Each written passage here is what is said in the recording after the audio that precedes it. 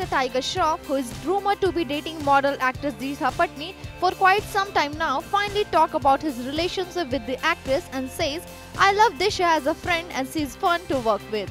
Tiger and Disha were present here at the song launch of Befikra and when asked about their off-screen chemistry, watch what Tiger has to say. Uh, as Khubsurat actually.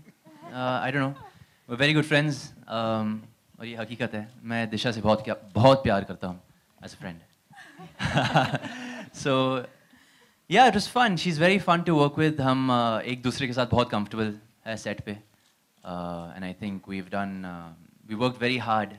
So we were more stressed about the work than you know actually having fun. We just wanted to do good work for everybody.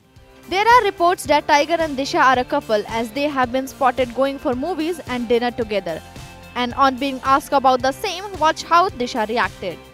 कई बार gym में भी मिलते हैं uh, I love to eat she loves to eat every now and then we go eat So, I yeah. think we do go out with our friends for movies and dinners or lunch. I think it's pretty normal.